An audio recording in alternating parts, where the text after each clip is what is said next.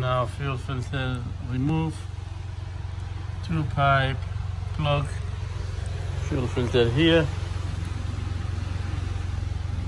Absolutely is not really easy. Good luck. Renault Captur